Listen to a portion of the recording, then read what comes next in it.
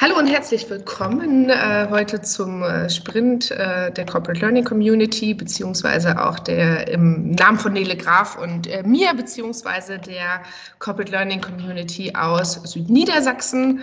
Und ja, ich äh, freue mich, dass schon über 40 äh, Kollegen Klasse und ja, ähm, da wir den ersten Sprint äh, des Jahres 2019 gestalten dürfen, ähm, hoffe ich auch einfach mal darauf, dass so ein paar Leute darauf gewartet haben, dass die Community mal, Community mal wieder zusammentrifft. Ähm, virtuell in zwei Wochen dann ja auch schon äh, physisch tatsächlich nochmal.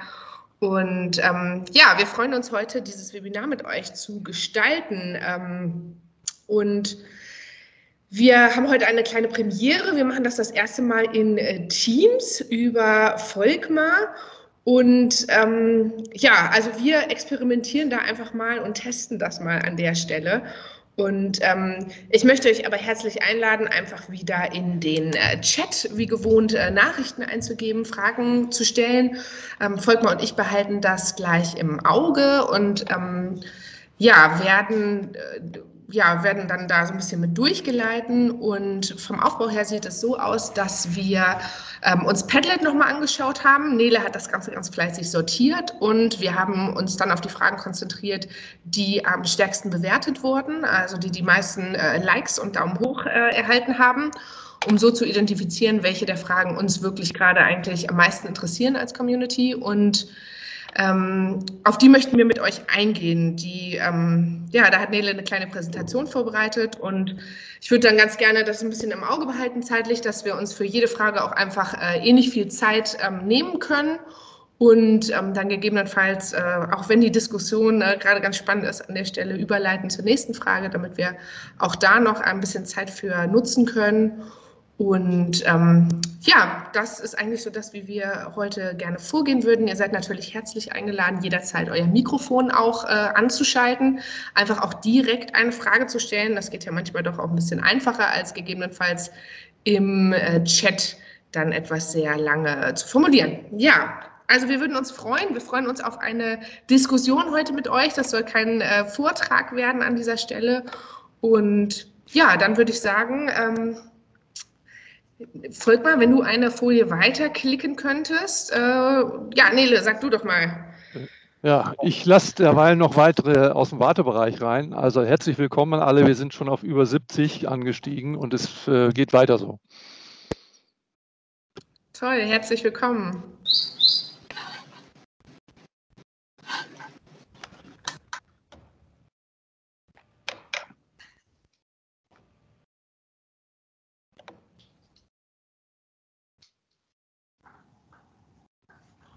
Gut. Nela, sonst erzähl doch vielleicht einfach so schon mal was über dich. Dann jetzt ohne die Folie vielleicht an der Stelle. Ah gut, da ist auch.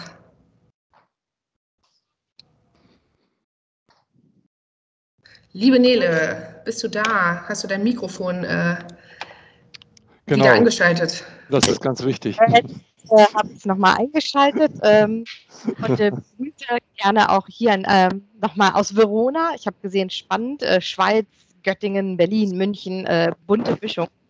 Und ähm, ja, wie kommen wir dazu, dass wir das Seminar heute, Antje und ich, äh, gestalten? Und zwar haben wir uns äh, vor einiger Zeit auf der Corporate Learning Community auf dem Regionaltreffen in äh, Hannover kennengelernt und äh, habe dort gesehen, Mensch, ähm, es gibt so viele spannende Themen da sollten wir unbedingt ähm, äh, mal weiterreden zu diesem Thema äh, agilen Lernen. Das, äh, dazu hatten wir ein Buch geschrieben. Da kamen immer mehr Fragen auf in der Community und da haben wir gesagt, ach Mensch, bevor wir das immer einzeln machen, ähm, wollen wir äh, Fragen zum Buch und äh, so allgemeine Fragen rund um das Thema mal sammeln und äh, gemeinsam diskutieren.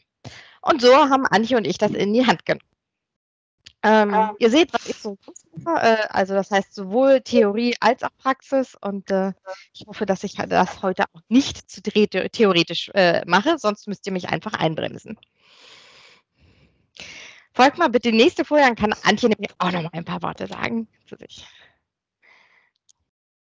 Ja, danke auch Nele für die äh, Hintergründe nochmal, warum wir das Ganze eigentlich initiiert haben.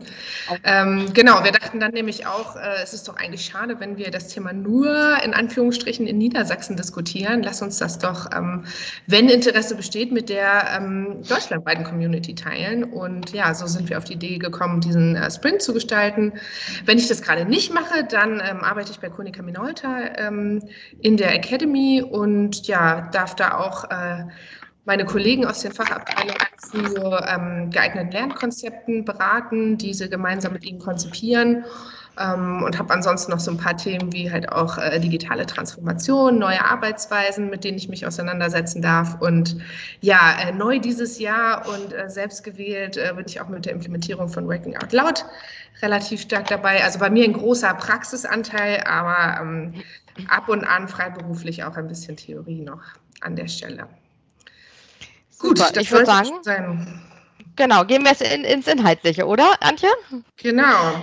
Nele, also, wir waren sehr begeistert. Äh, nachdem wir aufgerufen hatten, äh, unter anderem nach dem Reg letzten Regionaltreffen in Hannover, ja nochmal äh, den Link zu Padlet gegeben und äh, aufgerufen, dass man seine Fragen stellen kann.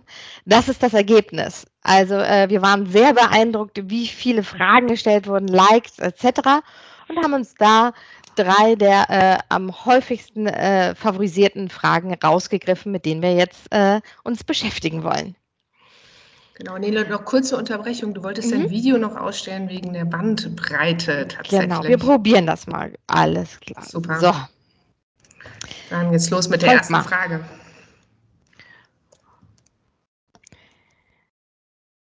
Ich sehe noch nicht die nächste Ach, ja. Folie. Da. Also, äh, wenn ihr äh, das auf Padlet äh, gesehen habt, dann gab es ganz viele Fragen. Was ist agiles Lernen? Was ist Workplace Learning? Was ist Learning on Demand? Etc. Und ähm, ich fände es toll, wenn wir in der Community mal ein einheitliches Verständnis entwickeln würden. Denn ähm, es gibt keine gängigen Begrifflichkeiten oder Definitionen. Und ähm, selbst das, das allgemeine Thema, was wir hier jetzt unter den äh, Slogan agiles Lernen äh, gepackt haben, heißt teilweise auch New Learning, Learning 4.0 etc. Und ähm, ich habe für mich ähm, mal versucht, die Sachen miteinander zu verorten und zu kombinieren. Und ähm, das Thema Workplace Learning ähm, ist für mich wirklich das äh, äh, Thema on the job. Es gibt äh, verschiedene Stufen, äh, wenn man sich die äh, Jane Hart-Studien und so anguckt. Ähm, aber äh, so das ganz klassische Workplace ist on the job, das heißt Onboarding, Unterweisung, Projektarbeit, all sowas. Aber zum Beispiel, wenn wir alle im, auf eine Corporate Learning Community Barcamp fahren, dann wäre das für mich nicht mehr das Workplace Learning. Ähm, die andere Frage war zum Beispiel das Thema Learning on Demand. Ähm, ist das das gleiche wie agiles Lernen? Würde ich auch nicht sagen, sondern es ist ein Teil davon. Also das Warum, nämlich das äh, problemorientierte Lernen am Arbeitsplatz. Und äh, beim Social Learning geht es um das Wie, das Miteinander und das Voneinander lernen. Und ähm, in meinem Verständnis, da wäre natürlich echt spannend auch zu hören, wie es, äh, was euer Verständnis ist oder ob ihr das anders seht, ist agiles Lernen eine Kombination. Also das sind drei verschiedene Perspektiven, wie man sich dem Thema Lernen nähern kann. Und agiles Lernen ist für mich eine Sache, die bedarfsorientiert ist, wobei der Bedarf natürlich von der Organisation und dem Individuum kommen kann. Es geht immer um eine Kompetenzorientierung, was zum Beispiel auch ähm, äh, Herr Sauter ähm, häufiger kommuniziert. Äh, es, ähm, es, geht um eine hohe Selbststeuerung. Ähm, agil heißt immer auch, wenn wir uns auch agiles Arbeiten lernen, das heißt Weg und Ziel auch immer anzupassen, ähm, zu reflektieren, sind wir noch, ähm, ist das, was wir tun, gerade noch das äh, Richtige, müssen wir noch irgendwie adaptieren ähm, und justieren. Agiles Lernen hat auch viel mit informellem Lernen zu tun, informell und nonformal, wenn wir jetzt über die Theorien sprechen. Social in Klammern, es muss nicht social sein, ist aber häufig von Social Learning geprägt und hat immer eine Arbeitsplatzrelevanz. Das sind für mich so die, ähm, die Begriffe, mit denen ich agiles Lernen ähm, beschreiben würde und wo ich auch die Abgrenzung sehe zu den anderen, ähm, die für mich immer nur eine Perspektive des Ganzen einnehmen. Und ähm, da noch, es war, kam eine schöne Frage in Padlet, ist Nachfrageorientierung besser als Angebotsorientierung? Denn die Lust zu lernen kommt manchmal, äh, wenn man sieht, was äh, es gibt. Und ähm, da wollte ich gerne nochmal eingehen. Vielen Dank, wer auch immer diese Frage geschrieben hat. Ähm, die Frage ist, was ist das Angebot? Also bieten wir Inhalte an oder bieten wir neue Formate an, wie zum Beispiel Antje jetzt erzählt hat, sie ist jetzt äh, äh, treibt das Thema Working Out Loud äh, äh, und äh, stellt es in ihrem Unternehmen vor und ähm, ähm, zeigt dort, dass es eben halt solche tollen Formate gibt. Und ähm, wenn wir über inhaltliche Angebote sprechen, dann können die selten individualisiert sein, aber natürlich Lust auf neue Themen machen. Und ähm, da würde ich eben halt genau dieses Thema sehen. Also die, äh, ist Nachfrageorientierung besser als Angebotsorientierung. Eine inhaltliche Angebotsorientierung würde ich mal fast pauschal ja sagen. Aber natürlich sollte es auch immer Angebote geben und zeigen, was es Tolles für Formate und Möglichkeiten gibt, äh, sich mit neuen Themen auseinanderzusetzen. Seht ihr das ähnlich? Seht ihr das anders? Sonst. Äh, ich hätte mal eine Frage. Ja. Und zwar nach der Definition agiles Lernen wäre dann eine Community of Praxis agiles Lernen? Ja, ähm, ich kann jederzeit ähm, äh, dort ähm, mir die Themen äh, selber Themen einbringen, also sehr individualisiert lernen. Ich kann ähm, Social mit ähm, auch äh, mhm. andere unterstützen, etc. Würde ich definitiv mit reinnehmen, ja. Okay, danke. Ähm, so, wir haben noch zwei äh, weitere Fragen im Chat. Wenn du mit problemorientiertem Lernen meinst, dass immer dann ein Lernbedarf äh, besteht, wenn ein Problem, also ein Bedarf am Lernen eines bestimmten Inhaltsskills oder dergleichen gemeint ist, dann teile ich all deine Definitionen. Vielen Dank, Nina. Ähm, und Katrin schreibt, vor allem ist es halt in die tägliche Arbeit integriert und nicht zusätzlich wie die meisten traditionellen Trainings. Also, äh, ihr habt äh, damit keine, äh, anscheinend im Moment keine äh, Probleme, aber so würde ich das erstmal für mich abgrenzen und ich fände es toll, wenn wir in der Community ein einheitliches, anderes, äh, also ein einheitliches Verständnis hätten, was wir mit was meinen und äh, ob wir über agiles Lernen reden oder New, äh, New Learning oder äh, Lernen 4.0, das müssten wir auch nochmal diskutieren, wobei ich, auch wenn agil ehrlich gesagt schon ein bisschen abgelutscht ist, äh, äh, das am sinnvollsten finde, denn Lernen 4.0 ist für mich zu sehr an Digitalisierung orientiert und äh, New Learning ähm, sehr an dem Thema New Work. Und die Frage ist, was ist denn, wenn das nicht mehr New ist? Wie geht es dann weiter? Ich habe einen Gedanken noch, Simon hier. Ja. Ähm, ich habe gerade mal geguckt, ob es die Seite in der Wikipedia schon gibt. Gibt's. Und die gibt's. Äh, die heißt, da heißt der erste Satz: Unter agilen Lernen wird allgemein die Übertragung agiler Methoden der Projektarbeit, insbesondere Scrum, auf Lernprozesse verstanden. Ähm, wenn man das ernst nimmt, würde ich finden, dass so ein Aspekt von agilem Lernen noch ist, dass man wie bei Scrum am Anfang selber im Team oder für sich selber ein Planning macht, was will ich eigentlich lernen, dann in einem Sprint sich vornimmt, was zu lernen und dann eine Retrospektive macht und dann wieder neu plant. Also agil im Sinne von, ich habe nicht ein festes Curriculum, was sagt, was mache ich die nächsten zwei Jahre, sondern ich teile das in Zeitscheiben und mache dieses Inspect and Adapt. Finde ich einen guten Punkt. Ähm, wenn man sich die agile Seite bei Wiki anguckt, ähm, die geht sehr auf den schulischen Inhalt. Also wenn man sich die Links anguckt, dann gehen sie sehr auf das Schulische. Ich finde das, was dort steht, als einen sehr engen Begriff von agilem Lernen. Also eine wirklich eins zu eins Übersetzung, finde es aber durchaus die Logik, was du gesagt hast, super. Mhm. Ja. Mhm. Ist, äh, Sabine, ich glaube, ich bin zu hören. Ich habe noch mal eine Frage. Habe ich dich jetzt richtig verstanden, dass du Barcamps äh, nicht als äh, agiles Lernformat siehst? Doch, als agiles Lernformat, aber nicht als Workplace Learning.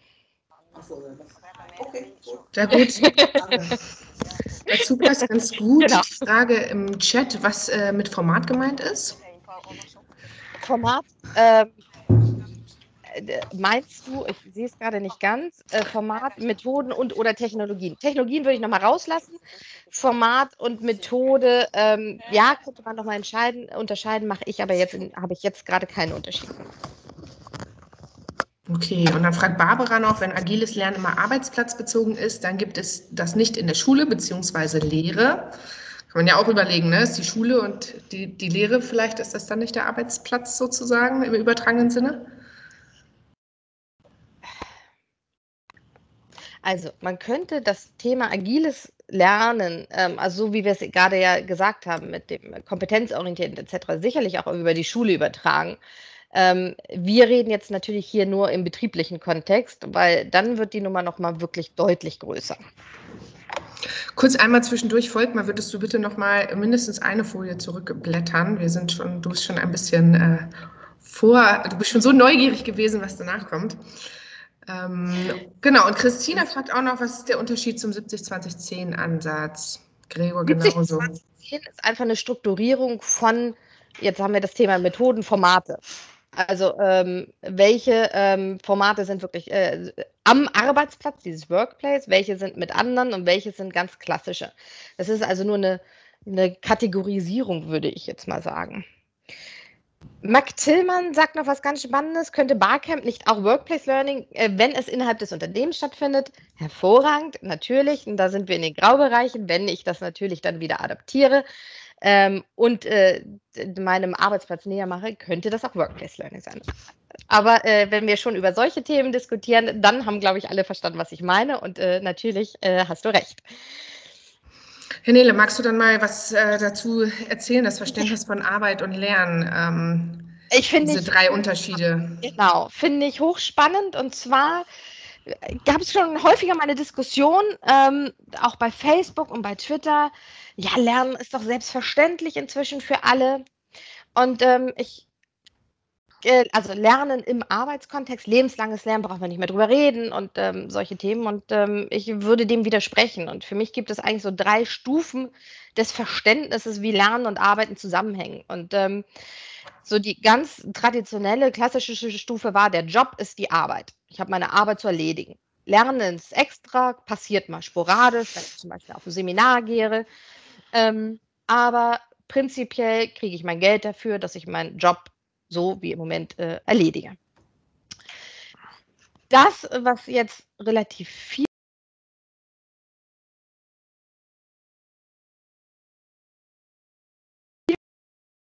Lebenslanges Lernen reden wir schon lange drüber. Jetzt wird es aber äh, äh, durch die ganzen Umstände deutlich relevanter. Kontinuierliches Lernen ist ein Thema. Ähm, Lernen also mit in äh, auch die Stellenbeschreibung und Co. mit zu implementieren und als ein Kontinuum zu verstehen.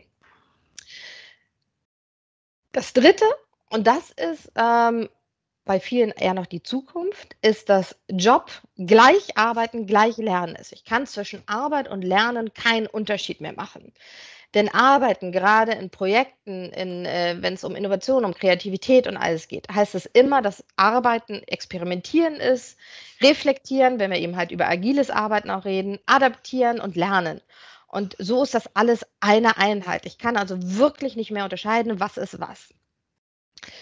Und ähm, ich glaube, dass wir wirklich im Moment in einer Phase sind, wo alle drei Verständnisse schon ähm, ja immer noch existieren. Und die Frage ist, wo befindet sich wer und wo befindet sich auch eine Organisation? Sabine sagt, Stufe 2 und 3 werden äh, länger äh, parallel existieren. Glaube ich auch.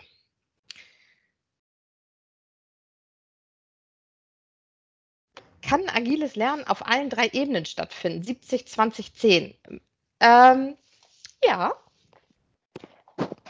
Äh, wenn äh, Lernen, also im ersten ist Lernen so noch nicht wirklich verstanden, also gerade auch dieses Kollaborative, ähm, ähm, könnte man aber hier auch schon aufbauen, aber hier ähm, ist immer noch das Verständnis, okay, ich muss mir neben der Arbeit Zeit schaffen, äh, um, zu, äh, um zu lernen.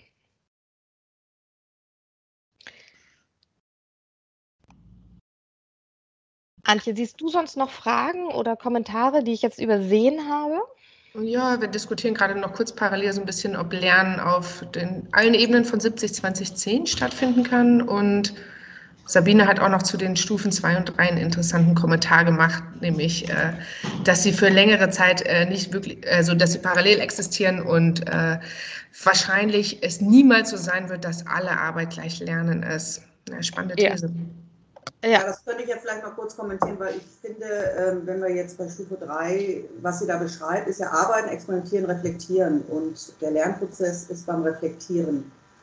Mhm. Also es, ähm, es wird vielleicht immer enger und schneller, aber es wird immer den Moment geben, jetzt muss ich die Folie fertig machen oder ich muss jetzt diese Präsentation halten und dann reflektiere ich. Also ähm, es wird vielleicht schneller, aber dass es sich wirklich auflöst und äh, jetzt im Moment, dass ich rede, äh, lerne ich, halte ich für, ich wüsste nicht, was der Sinn sein soll, dass wir das so glauben. Also ich also psychologisch ist das eigentlich nicht machbar, meiner Meinung nach. Also ich, ich, ich mache eine Handlung und währenddessen ich handle, reflektiere ich. Also manchmal sind wir so nicht gebaut. Das ist so der Hintergrund. Mhm. Auch wenn es immer schneller hintereinander kommt. Das mag alles sein, das stimmt, sehe ich auch so, aber ich, dass es wirklich eins zu eins ist, das schaffen wir eigentlich nicht. Ich glaube, es wird, ja, äh, das ist ja auch das Thema mit Multitasking. Kann ich mehrere Sachen auf einmal machen? ähm, und äh, wir sind einfach sequenziell äh, geschaffen. Ähm, aber die, es verschwimmt mehr. Also ich, ähm, wenn ich jetzt noch sage, ich buche Zeit auf Arbeiten und ich buche Zeit auf Lernen, das kann ich dann eigentlich nicht mehr tun, weil es eben halt wirklich in, deutlich schneller und besser ineinander greift. Ja, und ich denke, in den Unternehmen geht es eben darum, dass wir eben leider noch bei eins sind. Ne? Also Lernen ist extra und das äh, mhm. muss man genehmigen und fragen und ein Budget und so weiter. Und das ist letztendlich schon vorbei. Also so geht es gar nicht mehr. Auch wenn es noch existiert. Ja, und ich wenn glaube, ich genau darum geht es, äh, einmal zu verstehen auch, ähm, wo ist wer? Also wo muss ich wen abholen? Und wir in der Community sind, glaube ich, schon ganz weit mit unseren Gedanken. Ähm, in den Organisationen vielleicht nicht immer. Ich würde ganz gerne, auch wenn die Diskussion an der Stelle schon mal spannend ist, überleiten zur nächsten Frage. Aber ich glaube, das knüpft ehrlich gesagt sehr gut daran an. Ähm, weil die Frage hier natürlich äh, dann auch ist, äh, die ihr als ähm, ja, wichtig erachtet habt. Bitte folgt mal jetzt einmal weiterklicken auf die Folie. Ähm, welche, welche Voraussetzungen braucht es denn alles? Und eigentlich auch dieses Thema ähm, Lernkompetenz, Lernkompetenzen oder Selbstlernkompetenz ähm, knüpft genau daran an, an diese Stufenlogik. Also Nele, vielleicht, wenn du erstmal darauf eingehen magst. Ja, ähm, Mitarbeiter ist da natürlich ein, ein, auch ein Schlüssel und eine die wichtigste Rolle. Und ähm, was ich einmal ganz kurz sagen wollte, ist, ähm, wir reden von Lernkompetenz, Lernkompetenz und Selbstlernkompetenz. Ähm, ich persönlich spreche am liebsten von Lernkompetenzen, weil es ist nicht eine Kompetenz, sondern es ist ein Konglomerat an Kompetenzen, die ich beherrschen muss, um effizient und gut lernen zu können. Und ich rede nicht von Selbstlernkompetenzen, weil keiner für mich lernen kann. Entweder mache ich es selber oder äh, es passiert nicht. Das ist so dieses Jahr auch das konstruktivistische Bild für die Pädagogen unter uns. Und ähm, wenn wir über agiles Lernen und Mitarbeiter reden, dann müssen wir auch immer über die, unser äh, Menschenbild reden. Und ähm, ich äh, gehe erstmal von dem positiven Menschenbild aus, ähm, dass Mitarbeiter gewillt sind zu lernen, insbesondere wenn sie auch einen Sinn erkennen. Ähm, das ist so die eine äh, These, die ich äh, aufstelle für mich. Ähm, und äh, das zweite ist, Mitarbeiter können häufig nicht hoch selbstgesteuert lernen. Das hoch unterschrieben in diesem Fall, weil es gibt nicht unterstrichen, es gibt nicht selbst- und fremdgesteuert, sondern es gibt ja gerade an Selbststeuerung. Ähm, äh, von ich darf nur meine Lernzeit bestimmen bis hin zu wirklich ich gestalte die ganzen Formate. Und meine These ist, dass wir das nicht gelernt haben. Und ähm, das ganze Kompetenzthema ist aber so wichtig. Und Markus Feth hat ein schönes Zitat gebracht: äh, Mitarbeiter ohne Lernkompetenzen sind die Analphabeten der, jetzt müsste man in Klammern sagen, zukünftigen Arbeitsgesellschaft. Finde ich ganz spannend. Und wenn wir dann eher weitergehen bei diesem ganzen Thema, äh, folgt mal.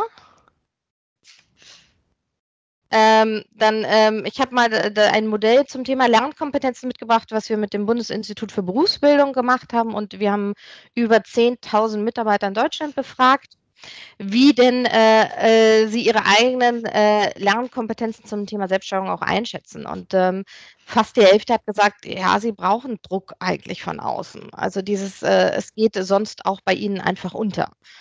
Und ähm, ganz spannend fand ich auch so eine Zahl, 39 Prozent sind sich im Klaren über, äh, was sie nach einem Lernprozess können oder wissen möchten. Und die Frage ist, was ist mit den anderen, äh, mit den anderen 61? Äh, Durchhaltevermögen, 23 Prozent geben nur ein hohes Durchhaltevermögen an, gerade bei komplexeren Lernszenarien.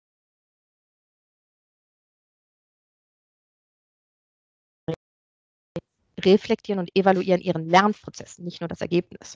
Das sind so Teile der Studie, die ähm, gibt es kostenlos, heißt Gebrauchsanweisung zum lebenslangen Lernen.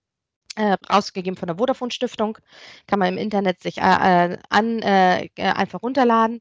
Und ähm, das sind für mich so Indizien auch dafür, dass wir eigentlich dieses Lernen nicht gelernt haben, äh, weder in der Schule noch in der Ausbildung. Und äh, Antje und ich hatten eine schöne Diskussion vorhin. Eigentlich, äh, sie meinte, äh, wie hast du so schön gesagt, ach, wir haben das doch eigentlich alle mal gemacht in der Kindheit. Und ähm, äh, da habe ich dann so ein halb widersprochen, weil äh, in der Kindheit es einfach ja eine, eine Neugier ist, ein, ähm, auch ein nicht internationales Lernen, ein nicht intendiertes Lernen, sondern ich, ich sauge ja auf, ich äh, als Kind einen Schwamm. Ich habe einen zehn Monate alten Sohn, ich finde es faszinierend. Ähm, aber ich muss nicht was wozu lernen, sondern ich äh, gehe Gesamtraum. Was wir aber sicherlich uns von den Kindern wieder abgucken können, ist dieses ganze Thema ähm, experimentieren, ausprobieren, üben, machen. Ähm, das ist natürlich eine wirklich äh, äh, tolle Geschichte. Und ähm, ja, ich glaube, lernen, lernen und nicht nur das, was in der Schule vermittelt wird unter dem Thema wie äh, Memorierungstechnik, also wie erinnere ich was, sondern wirklich selbstgesteuert lernen zu können, ist was, was viele Mitarbeiter nicht können. Da rede ich jetzt nicht für, äh, unbedingt von unserer Gruppe, sondern ich äh, kenne auch durchaus andere Zielgruppen, wo einfach Lernen schlecht konnotiert ist. Es ist mit, ähm, mit äh, Schule verbunden, mit Prüfungen, mit Auswendiglernen, mit ähm, all solchen Themen. Und ähm, da zu zeigen, dass es auch anders geht, das ist natürlich auch eine Aufgabe. Ja, hierzu umso wichtiger, Barbara sagt das ist ganz toll, umso wichtiger, agiles Lernen in die Schule zu integrieren. Halleluja, unbedingt. Ähm, die Frage ist, wie kriegen wir es hin? Äh, und ähm, ich habe nicht die Kontakte in die Politik, aber ähm, die, die sollten sich da sicherlich äh, mal genau mit solchen Themen auseinandersetzen und viel mehr noch das Thema Projektarbeit und all solche Themen äh, machen. Ja. So, Entschuldigung, da haben wir gerade gleichzeitig geredet. Ja, erstmal vielen Dank ähm, für Steffi und Oliver, dass ihr den Link für die Studie gleich geteilt habt. Klasse. Und eine Frage von Bastian passt super gut dazu. Für welche Form des Lernens gilt diese Studie? Ähm, wir haben sie in, für das gesamte Thema Lernen, also geplantes Lernen im Arbeitskontext gemacht.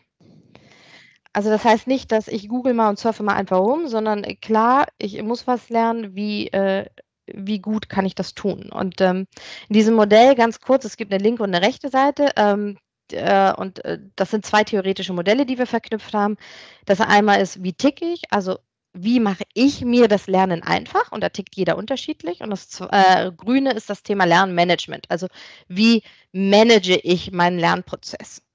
Und äh, weder das eine noch das andere haben wir wirklich gelernt. Und da verstecken sich ganz viele psychologische ähm, Konstrukte dahinter, wie Selbstwirksamkeit, wie äh, ähm, das Leistungsmotiv, ähm, Lernstile. Damit meine ich eben halt äh, die nach Hannian Mumford oder Kolb. Also dieses, bin ich eher ein Aktivist oder ein Theoretiker, nicht haptisch, auditiv etc. Das wissen wir ja, dass das äh, nicht produktiv ist. All solche Themen. Das muss ich über mich wissen. Gut, noch kurz daran anknüpfen, deutsche oder europäische Teilnehmer der Studie? Rein deutsch. Okay. Gut, ja, Nele, dann lass uns doch mal zum zweiten Teil der Frage übergehen, nämlich die äh, Voraussetzungen. Folgt mal bitte einmal weiterklicken. Super. Ja, also äh, äh, ich finde gerade noch eine spannende Sache. Peter schreibt, agiles Lernen ist doch auch nur Mittel zum Zweck. Es geht schließlich um den Erwerb notwendigen Wissens für eine Entscheidungssituation. Wie unterscheidet sich agil vor und danach? Was spielt der Kontext eine, äh, eine wichtige Rolle? Ist der kompliziert oder komplex? Oh, spannendes, langes Thema. Äh, was mir gefällt, ist der erste Satz, auf den ich gleich angesprungen bin. Natürlich ist das Mittel zum Zweck. Und äh, ihr könnt es nennen, wie ihr wollt und äh, ihr könnt es gestalten, aber es geht um Kompetenz um Orientierung. Also Wissen ist mir häufig auch zu, zu eng gefasst, ähm, weil es nicht nur um Entscheidungssituationen, sondern auch um Umsetzung geht. Ähm, und ähm, natürlich ist es Mittel zum Zweck. Und ganz viel von dem, was wir unter agilem Lernen jetzt verstehen, haben wir schon in den 80er Jahren in der Pädagogik ins, äh, ähm, diskutiert. Also wenig davon ist wirklich Rocket Science und äh, hypermodern, sondern ähm, wir haben die Ansätze schon, äh, schleifen wir eigentlich schon seit längerem mit. Nur die Relevanz ist deutlicher geworden. Mhm. So. Äh, dann waren wir bei den Voraussetzungen schaffen. Ein paar Mhm. Ideen. Ähm, das war der zweite Teil der Frage im Padlet. Ich finde es immer gut, klein anzufangen und groß zu denken.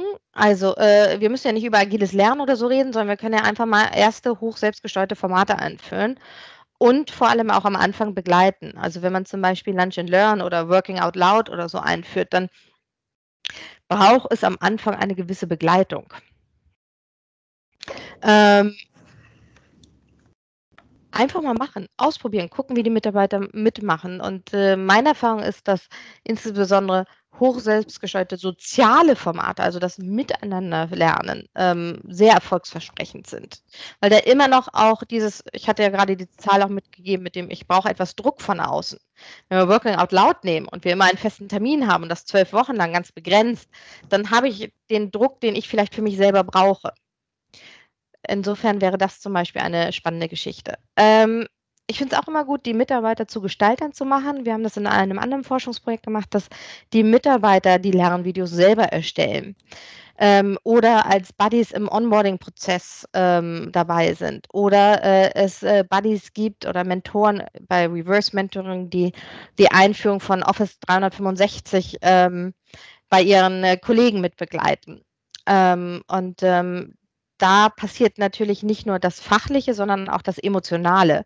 Denn wenn Mitarbeiter sich beteiligen also, und äh, selber gestalten, dann reden sie darüber anders. Dann können sie auch anders andere Leute mitziehen. Und ähm, das finde ich ist immer auch ein ganz äh, toller Schlüssel. Wenn Mitarbeiter gut über das Lernen reden, dann ist schon viel gewonnen. Ähm, Lernkompetenzen analysieren und fördern. Ähm, ich, da würde ich gerne das Beispiel Deutsche Bank nennen. Die haben wirklich eine Akademie fürs Lernen äh, aufgesetzt ähm, und ähm, äh, bringen äh, dort äh, ja, ein, ein Angebot äh, zutage, dass die Mitarbeiter ähm, Lernkompetenzen und auch andere Metakompetenzen sich dort mit beschäftigen können und ausbauen können. Und ähm, die Deutsche Bank sagt ganz klar, egal ob sie bei uns bleiben oder nicht, das sind Sachen, die braucht jeder Mensch für die Zukunft. Führungskräfte entwickeln und da auch speziell darauf eingehen, dass Führungskräfte alle Altersgruppen fördern müssen. Das haben wir in der Studie auch gesehen, dass so ab 55 allerspätestens eigentlich schon davor äh, Führungskräfte eigentlich keinen Fokus mehr auf das Lernen äh, ihrer Mitarbeiter haben und äh, da auch ein gewisses Desinteresse zeigen. Was schade ist, weil mit 55 äh, habe ich noch äh, mindestens äh, zwölf Jahre zu arbeiten. Und das wäre schade, wenn ich da nicht mehr lernen würde. Lernzeiten übergangsweise definieren. Es ist so, wenn wir über informelles Lernen und äh, Reden, also nicht mehr über diese ganz klassischen Seminartage, sondern eben halt mal, ich mache eine Meetup oder Working Out Loud oder so, dann äh, kenne ich das aus einigen Unternehmen, dass gesagt wird, ach Mensch, ähm, hast du nichts zu tun. Also dieses Verständnis, äh, Job ist eigentlich Arbeiten. Und ähm, und da gab es eine ganz tolle äh, Twitter-Diskussion von Bernd Schlindwein äh, damals äh, angestoßen, ähm, wo auch verschiedene Themen gesammelt wurden zum Thema äh, oder verschiedene Beispiele gesammelt wurden zum Thema Lernzeiten von einem Tag äh, in der Woche über ähm, vier Tage im Jahr, wo man äh, alles drauf buchen kann. Ähm, was damit sicherlich eine Initialzündung sein soll, ist eine Legitimation zu schaffen, dass ich auch während der Arbeitszeit lernen darf. Nele, wollen wir noch mal ein bisschen auf den Chat gucken ja, und noch ein paar bitte. Fragen hier an der Stelle?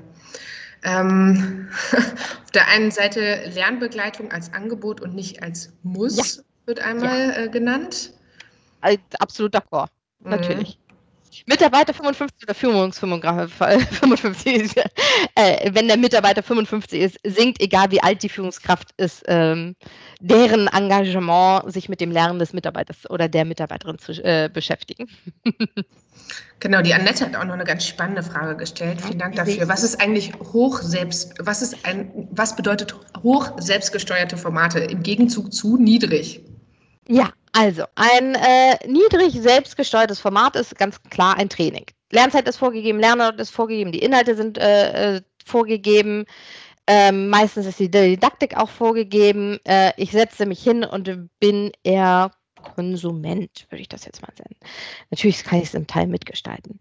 Hoch selbstgesteuert heißt, dass ich mir überlege, welche Formate, Methoden sind für mich gut, welche Tools sind für mich gut, wann tue ich es, wie tue ich es, mit wem, etc. Also ein Working Out Loud wäre jetzt zum Beispiel auch schon ein, ein hohes, ein ähm, hoch selbstgesteuert Mentoring. Wenn der Mentee es wirklich ernst nimmt, ist ein hoch selbstgesteuertes Format. Ähm, äh, ja, das wären so zum Beispiel äh, zwei Themen. Genau, und da hat auch der Gregor nochmal den Hinweis gegeben, dass er auch findet, dass äh, selbst diese klassischen 10 Prozent, die ja eigentlich äh, formal so ein Training, wie du es jetzt gerade beschrieben hast, als niedrig selbstgesteuert, kann man eben auch überlegen, agil zu organisieren, Agenda mit Kanban-Board, Fragen der Fragen und Lernthemen der Teilnehmer. Ähm, also auch da kann man an Formaten äh, drehen, wenn man die agil ja. leer gestalten möchte. Ja, also und äh, dann, äh, Paolo, das ist ja die Frage, die gleich schon dazu sagen kann, ist, ein Webinar ist eher niedrig selbstgesteuert. Prinzipiell schon. Wir versuchen hier natürlich sowohl über den Chat als auch eben halt genau dieses Sammeln vorher in Padlet. Ähm, äh, das äh, äh, etwas äh, ja, teilnehmerzentrierter zu machen. Also ich muss jetzt auch nochmal widersprechen äh, zum Thema Training. Also da gibt es ja eine sehr große Bandbreite von teilnehmeraktivierenden äh, Trainings ähm, und, und, und. Also ich denke, so ein klassisches, sehr wenig gesteuertes ist so ein Vortrag, wo man einfach 20 Minuten was erzählt und dann applaudiert das Publikum und geht wieder raus. Also das wäre so für mich klassisch. Das wenig, ist ganz klassisch. Ja, genau. Ja, also das ist ganz klassisch. Bei dem Training habe ich einen Vorteil immer halt noch, dass ich äh, wirklich Lernzeit und Lernort vorgegeben habe. Ja. Ja. Ähm, und damit ähm, auch eine Verbindlichkeit. Und jeder von uns kennt das bestimmt, dass er sagt, ach Mensch, ich, diesen Artikel will ich schon seit Ewigkeiten lesen, ich komme immer nicht dazu. Ähm, und äh, das ist so bei diesem Lernen, äh, dem hochselbstgesteuerten, es ist schwierig manchmal einfach einzutakten in die Taktzahl. Und da ist natürlich in einem Training, wo es sagt, okay, jetzt ist das Thema dran, mh, hm, hat da auch seine Vorteile immer.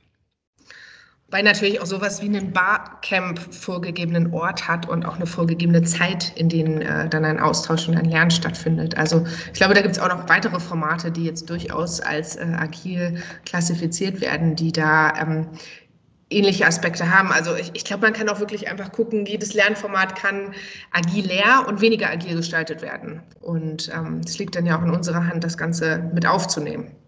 Ja. Ähm, aber der Martin hat auch noch so eine super spannende Frage gestellt, nämlich wie sind die Erfahrungen mit ISO 9001 Zertifizierungen im Unternehmen? In meinem Empfinden wird dadurch vieles bürokratisiert, was kaum noch Platz für selbstgesteuertes Lernen im Arbeitskontext lässt bzw. untergräbt. Aus dem Bauch heraus habe ich das Gefühl, eben das hält einen auf Stufe 1.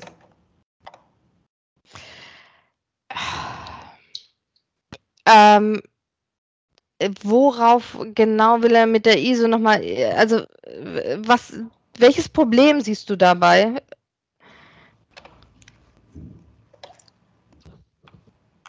Du kannst auch gerne das Mikrofon einfach äh, öffnen und kurz was erklären. Das ist vielleicht auch hilfreich. Also Sabine sagt noch gerade eine Sache ich würde auch gerne wissen, ob, und das meiner Meinung nach nicht Selbststeuerung per se das Ziel ist, sondern ich entscheide, wie ich es organisiere, entscheide mich gegebenenfalls für ein fremdorganisiertes Format. Ja, aber da ist schon die Selbststeuerung, dass ich mich entscheide. Natürlich kann ich mich entscheiden zu sagen, ich gehe in ein Training. Ähm, äh, die Selbststeuerung ist aber genau die davorliegende Entscheidung. Will ich ein Training oder will ich was anderes machen?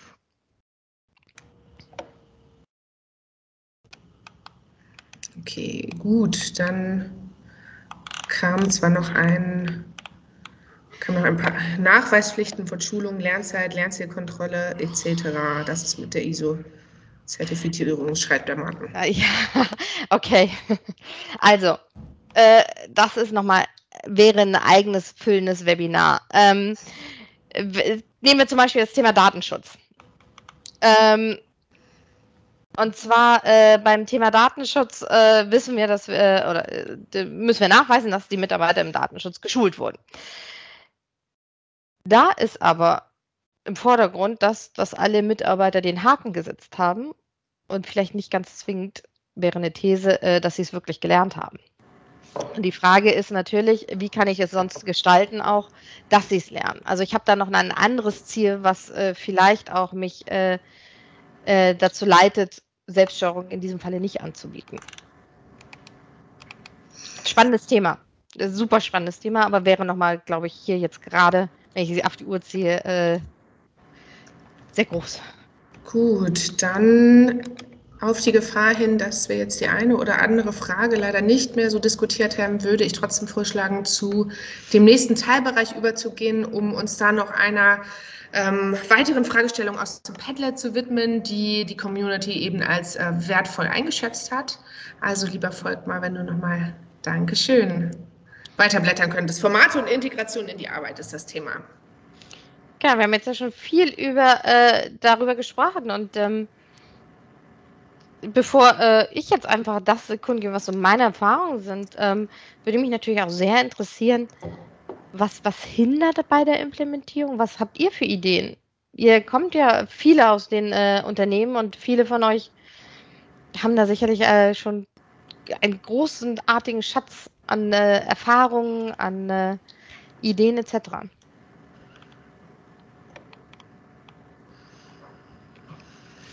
Oh, äh, Antje, jetzt äh, musst du noch mal in die Moderation eingreifen, weil ich glaube, hier ist dir der äh, Chat noch deutlich äh, mit dem anderen Thema beschäftigt. Ja, ich merke schon, wir, äh, die Community hat da auf jeden Fall ähm, noch ein bisschen äh, Redebedarf, beziehungsweise ich finde es auch total in Ordnung, wenn, wenn wir im Chat da einfach ein bisschen weiter ähm, parallel zu diskutieren. Mhm. Ähm,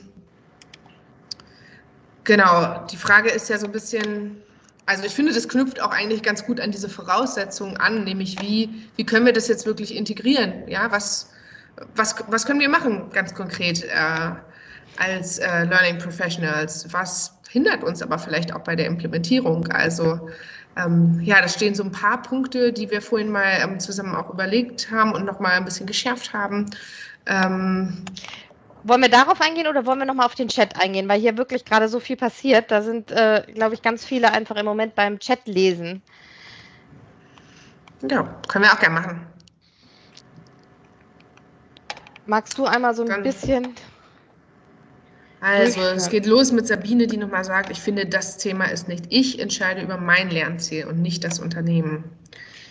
Jein. ja, äh, in dem, wenn wir über problembasiertes äh, Lernen und so reden, definitiv. Aber es gibt natürlich auch immer strategische Themen, die aus dem Unternehmen über die Führungskraft natürlich an den Mitarbeiter auch herantragen werden müssen. Also was sind die Anforderungen? Wo entwickelt sich das Unternehmen hin? Das ist ja immer ein, äh, ein beidseitiges äh, Miteinander reden und diskutieren, ähm, was gebraucht wird. Ja, darf ich da mal einhaken? Genau das ist das Thema. Also wenn ich selber motiviert bin, etwas zu tun, und es zufällig mit der Strategie zusammenpasst, dann ist es schön. Wenn ich aber als Unternehmen sage, ich möchte, dass diese Strategie von allen verstanden wird, dann kann ich nicht erwarten, meiner Meinung nach, dass das oder ich wüsste nicht, wie man das dann schafft, dass wir es dann so formatmäßig hinbekommen, dass die Leute es dann doch freiwillig gerne machen wollen. Also ich denke, es, ist so, es geht so ein bisschen um die Grenzen des agilen Lernens. Also wenn ich es will als Unternehmen, und es muss mhm. das und das sein, wegen ISO, wegen Produkt und so weiter, dann hat es auch Grenzen, in der ähm, ihr dürft das alles selbst entscheiden. Das will ich damit sagen. Also wenn ähm, ich selbstbestimmt ja. lerne, entscheide ich über das Lernziel und kein anderer. Ähm, ich, wir, wir, reden jetzt mal über eine ideale Welt. Also die ideale Welt ist ja, dass äh, die Unternehmen, die, die der, äh, im Unternehmen für die Strategie verantwortlich sind und die Mitarbeiter oder zumindest äh, die im Unternehmen die Strategie an die Führungskräfte kommuniziert haben, irgendwie im Austausch miteinander sind. Und ähm, wenn ich als Mitarbeiter, ähm, weiß ich natürlich am besten, was ich gerade an meinem, an, in meiner Arbeit an Lernthemen habe, aber vielleicht nicht, was das, äh, was ich brauche in zwei, drei Jahren brauche, weil sich das Unternehmen verändert. Also die müssen miteinander reden. Und ähm, auch da kann ich agiles Lernen einsetzen. Also Continental hat zum Beispiel, ähm, Harald Schirmer hat eine tolle Präsentation zu mal gehalten, die haben 365 eingesetzt und ähm, haben gesagt, okay, äh, wir müssen das über x tausend Mitarbeiter ausrollen.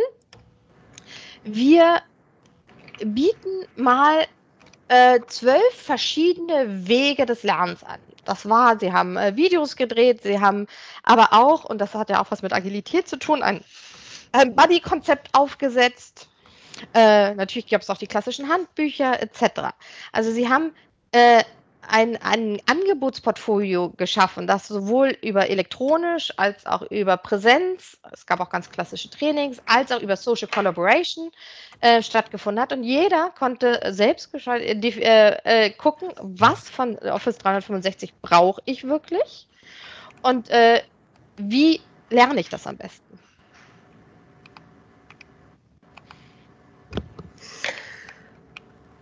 Ja, dazu gibt es eine ganze Menge Kommentare im äh, Chat noch dazu, nämlich irgendwo vielleicht äh, gibt es auch Lernziele und Lehrziele. Ähm, und vielleicht gibt es im Unternehmenskontext eben auch beides. Und ähm, ja. ich würde auch mal anknüpfen und daran sagen, ich glaube, die betriebliche Realität sieht nicht so aus, dass wir zu 100 Prozent agil lernen. Und ähm, ich, die Frage ist aber auch immer, muss es denn 100 Prozent sein? Oder ist es nicht auch ein Fortschritt, wenn wir uns einfach schon äh, ein paar Prozent weiter nach vorne bewegen und eben ähm, mehr Formate, mehr Raum geben, dass tatsächlich auch agil gelernt werden kann? Und es muss, es muss glaube ich, einfach nicht immer 100 Prozent sein.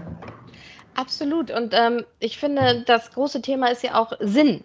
Also habe ich als Mitarbeiter den Sinn verstanden, äh, warum ich vielleicht was äh, äh, mich mit einem Thema auseinandersetzen sollte. Und ähm, ich war mal in äh, einem Unternehmen und habe mir dort die äh, äh, die IT-Zentrale angeguckt und mal wirklich plastisch gesehen, wie viele Hackerangriffe dort äh, pro Minute auf das Unternehmen einprasselten. Und das war so beeindruckend für mich, dass ich endlich den Sinn verstanden habe, warum ich mich mit Datenschutz und IT-Sicherheit auseinandersetzen muss. Genau, dann. Dann gibt es noch Kommentare, die auch daran anknüpfen, dass äh, eine, eine Awareness für das Thema geschaffen werden muss, ein ja. Bewusstsein äh, für, für die genau Wichtigkeit, genau für die Relevanz von agilem Lernen und daran anknüpfen vielleicht auch, dass es die passende Lernkultur dafür auch braucht. Absolut. Natürlich. Genau. Also dann wurde noch ein bisschen über Nachweispflichten diskutiert und ja, ich denke, das knüpft daran an, ähm, wo wir eben sagen, es, muss, es kann und muss nicht alles 100 Prozent agil gelernt sein. Bestimmte Dinge äh, müssen eben nachgewiesen werden. Wobei ich finde auch da, ähm, nur weil ein Mitarbeiter eben eine IT-Sicherheitsunterweisung äh, besucht hat, wie interaktiv sie auch gestaltet sein mag, ähm, heißt es noch lange nicht, dass es auch gelernt und verinnerlicht wurde. Also ich sehe das immer so ein bisschen kritisch mit äh, Haken hinter, hat am Training teilgenommen oder hat das äh, E-Learning absolviert und äh, das Ganze ist auch wirklich verinnerlicht. Ähm, würde ich sagen, sind auch nochmal zwei Paar Schuhe. Mhm. Genau, dann haben wir hier noch ähm, eine Unterscheidung in selbstorganisiertes, selbstgesteuertes, selbstbestimmtes Lernen, die Oliver vorschlägt. Äh, Oliver, definitiv. Da könnte man jetzt noch weiter reingehen. Da gibt es in der Theorie äh, Sachen. Wir haben es jetzt hier einfach gehalten. Aber kann man definitiv Unterscheidungen machen, ja. Genau. Und Peter schlägt vor, Lernen für die Rolle, Lernen für die Person müsste man unterscheiden. Ja, kann man machen. Ähm. Mhm. Genau, dann wird zum Beispiel noch gesagt, eine These dazu, was uns hindert. Es ist schwieriger darüber zu sprechen, was man agil gelernt hat und mit welchem Aufwand. Oder liegt das noch an meinen noch mangelnden Lernkompetenzen und auch ein bisschen zuvor wurde im Chat durchaus auch gesagt, dass ähm, Sorge bestehen kann, wenn man etwas noch nicht weiß, das auch offen zuzugeben, ähm, dass da eben eine, eine, Wissenslücke, eine Kompetenzlücke besteht. Da sind wir wieder bei dem äh, Thema Lernkultur. Äh, wann thematisiert schon mal ein Vorstand oder eine Geschäftsführung oder auch die eigene Führungskraft, dass sie selber eine, äh, äh, eine äh, Wissens- oder Kompetenzlücke hat oder wie sie das letzte Mal äh, gelernt hat. Äh, und was, ähm, also da sind wir genau bei dem Thema Lernkultur. Und das vorige Thema finde ich auch so spannend, weil wir sind in Deutschland auch noch sehr zertifikatshörig. Also äh, bei uns muss alles am besten Zertifikat haben. Wir sehen das äh, insbesondere bei den Themen äh, in, den, in den Bewerbungen, wie viele Zertifikate äh, dort immer auch angehängt werden noch. Ähm, damit haben wir uns eine Krücke gebaut. Weil nur weil jemand ein Zertifikat hat, heißt es nicht, dass er es kann, sondern dass er äh, salopp formuliert physisch anwesend war. Ähm, ich glaube, wir werden uns langfristig von diesem Zertifikatsthema lösen müssen. Und ähm, wir, äh, LinkedIn zum Beispiel baut sowas ja mit diesen Endorsements auf. Ähm, das heißt, dass andere äh, sagen, ich habe eine bestimmte Kompetenz. Ob das jetzt der richtige Ansatz ist, das muss man dann nochmal diskutieren. Aber äh, diese Krücke mit den Zertifikaten behindert natürlich das ganze Thema äh, des, äh, des agilen Lernens, weil wenn ich was in äh, mir Kompetenzen über die Arbeit, über ähm, äh, über verschiedenste Thematiken, vielleicht auch über Freizeitaktivitäten aneigne, dann ähm, kann ich die schlecht äh, mit Stempel nachweisen. Guter mhm. Punkt. Relevanter Punkt. Dann ist hier noch eine Frage, da es verschiedene Lerntypen gibt, wird es auch Lerner geben, die unter Umständen nicht mit dem agilen Lernen zurechtkommen, beziehungsweise andere Präferenzen haben. Nele, wie siehst du das denn? Ja, da sind wir mit dem Thema Selbststeuerung wieder. Ähm, ich kann ja durchaus für mich selbstgesteuert entscheiden, dass für mich Training oder ein Vortrag oder irgendwas das genau das Richtige ist. Das muss ich nur erkennen können. Ich will ja nicht die Trainings abschaffen.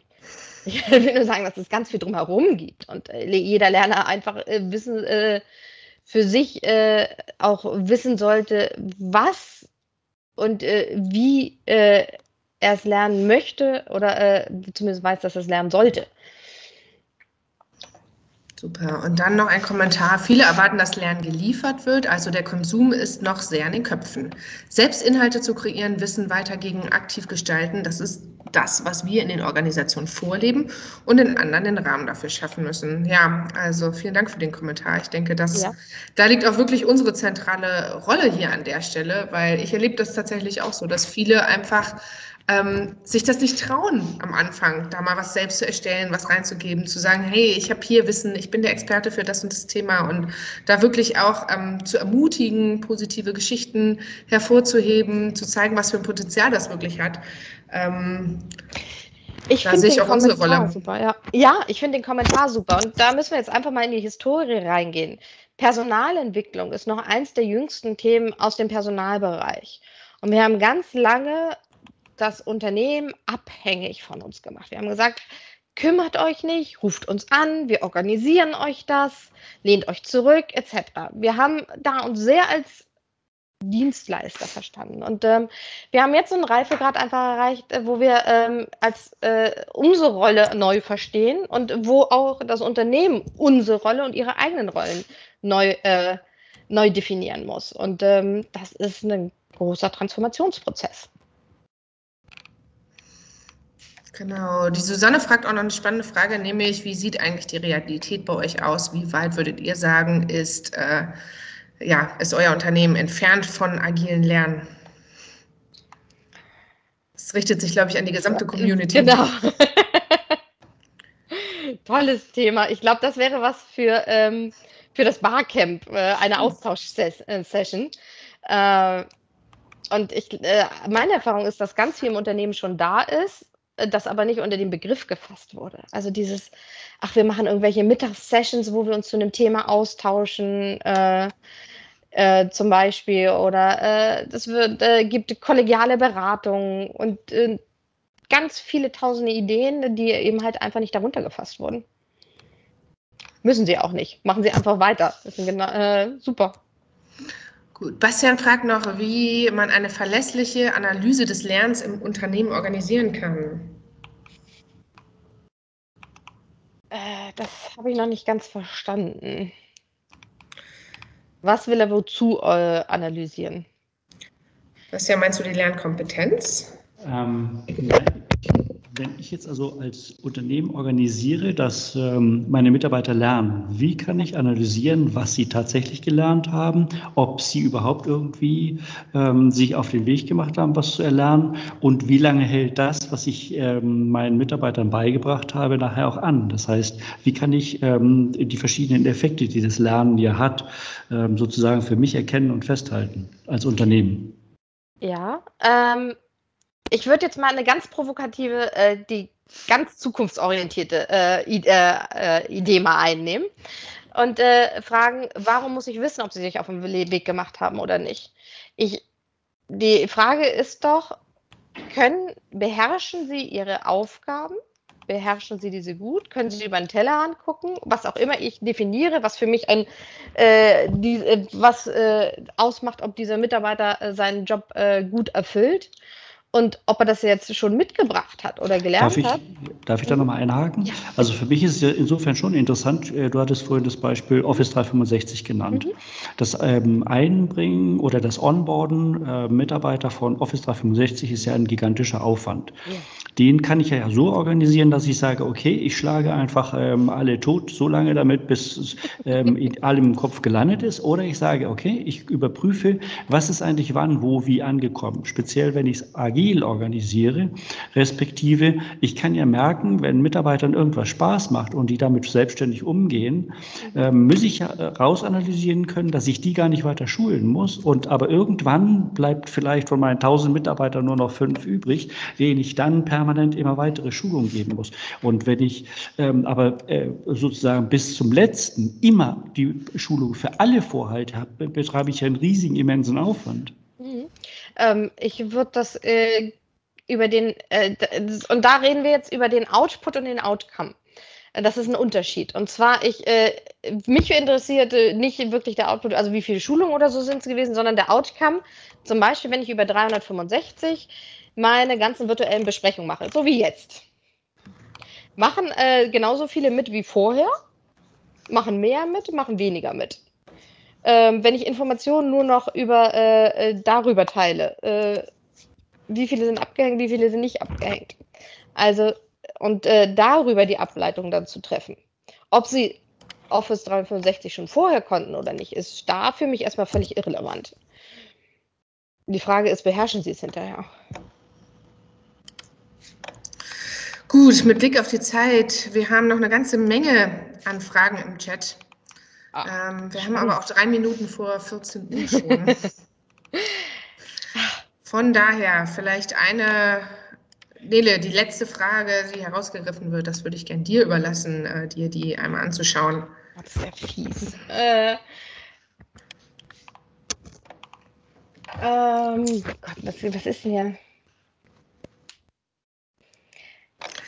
Und äh, ja, Tillmann schreibt schon, schade, sehr interessante Session. Genau, wir können diese in zwei Wochen ja auch noch mal gerne weiter fortführen, beziehungsweise gibt es ja auch noch weitere Kanäle, wie wir in Kontakt bleiben können und noch die eine oder andere, das eine oder andere Thema vielleicht weiter diskutieren können auch.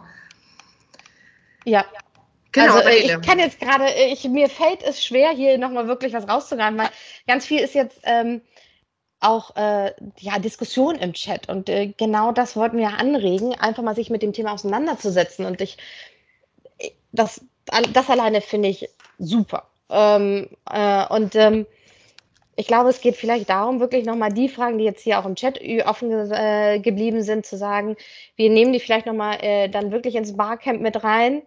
Ähm, darf ich dich ja. mal einmal unterbrechen, weil ich habe äh, weiter oben von Karl-Heinz Pape die Frage äh, gesehen, die fand ich nochmal interessant. Äh, Ja. mit, äh, ähm, er hat das so wahrgenommen, dass äh, im Grunde genommen agiles Lernen eigentlich dasselbe wie selbstgesteuertes Lernen ist. Hat er das richtig verstanden? Würdest du das auch so zusammenfassen? Das fand ich nochmal eine interessante Frage. Also selbst würde ich ich, deine Meinung gerne hören. Ja, selbstgesteuertes Lernen ist für mich nur die Rolle des Mitarbeiters. Agiles Lernen bezieht sich für mich äh, die Lernkultur äh, und auch die Rollen der Führungskraft, der Personalentwicklung etc. mit ein. Da würde ich deswegen den Danke, Unterschied danke machen. für die Klarstellung. Das war schon mal sehr gut. Danke. Super, War ja. toll. Ich muss jetzt raus. Tschüss.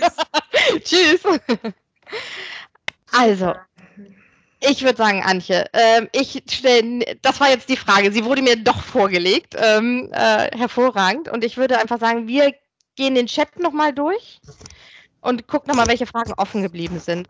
Ich danke euch sehr. Ich danke euch für die Resonanz und ich danke euch für die Diskussion. Und ähm, ach, ich würde super gerne mit euch weiter äh, diskutieren, am besten zu diskutieren. Und äh, ich freue mich auf den weiteren Austausch. Ja, liebe Nele, liebe Antje, ich darf euch beiden auch äh, ganz besonders herzlich danken, dass ihr hier diese Impulse mit eingebracht habt und Antje, dass du das so schön äh, moderiert hast. Also ganz vielen Dank. Äh, Das ist auch sicher ein Ansporn an andere, andere Regional-Communities, aber auch andere Community-Mitglieder. Und da sind wir gleich bei einem wichtigen Punkt. Ich möchte euch sehr herzlich doch aufrufen, äh, auch äh, weitere Sprints mit anzuregen und diese weiteren Sprints auch mitzugestalten. Für den 12. April haben wir bereits ein Thema, da soll es um das Thema LernOS gehen. Und äh, natürlich freuen wir uns auch äh, auf ein persönliches Wiedersehen bei dem Barcamp in Hamburg. Und auch da äh, wäre es schön, wenn wir gemeinsam eine Session gestalten könnten, wie wir die weiteren Sprints zusammen gestalten können. Also insofern ganz herzlichen Dank für die Teilnahme. Wir waren tatsächlich zwischendurch über 90 Teilnehmer und dafür, dass wir das das erste Mal mit Teams gemacht haben, finde ich, hat das wunderbar geklappt. Ganz herzlichen Dank euch allen. Ja, auch von mir vielen Dank. Es hat äh, sehr viel Spaß gemacht. Ich freue mich auf weitere Diskussionen. Ich sehe das eher als äh, Anfang, äh, denn als Ende jetzt hier an der Stelle. Und ich finde, das waren die super Schlussworte. Insofern, äh, Volkmar, du schließt die Session. Äh, wir werden es online stellen äh, und allen noch einen wunderschönen Nachmittag, ein schönes Wochenende und bis bald in sämtlichen, auf sämtlichen Kanälen, virtuell präsent etc. Vielen Dank. Ja, tschüss. Danke, tschüss. Tschüss.